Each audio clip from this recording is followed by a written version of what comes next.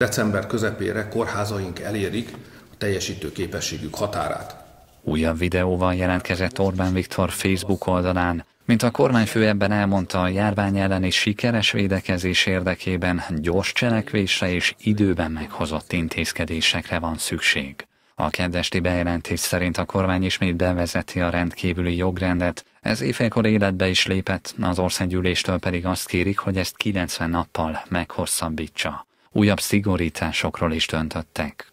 Rendezvényeken, sportrendezvényeken, mozikban, színházakban csak minden harmadik széken lehet ülni, és a maszk használata kivétel nélkül kötelező. A hatóságok minden rendezvényt ellenőrizni fognak, ha kell, pénzbírságot szabnak ki, és azokat a helyeket, ahol nem tartják be a szabályokat, be fogják zárni.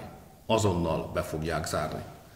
Ugyanis aki nem tartja a szabályokat, nem hord maszkot, nem tartja a védőtávolságot, az nem csak a saját, de mások életét is veszélybe sodorhatja. Arról is döntés született, hogy bezárják azokat a szórakozó helyeket, ahol zene van, mivel a szabályok betartását lehetetlen kikényszeríteni ezeken a helyeken. Éjfél és hajnali 5 óra között pedig kijárási korlátozás van érvényben. A tömegközlekedés terén is vannak változások. A reggeli és déli csúcsforgalomban járatsűrítést rendeltünk el, és újra ingyenesítettük a parkolást.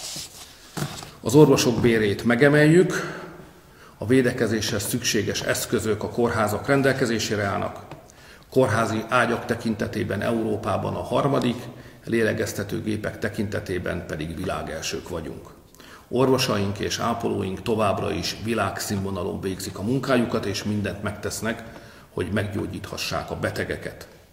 A miniszterelnök szavai szerint a végső megoldás a védőoltás lesz, ami már látótávolságon belül van, addig, mint fogalmazott, ki kell tartani. A szerdai adatok szerint 4219 újabb magyar állampolgárnál mutatták ki az új koronavírus fertőzést, és újabb 90 halálos áldozata van a járványnak. 4871 koronavírusos beteget ápolnak kórházban, közülük 355-en vannak lélegeztetőgépen.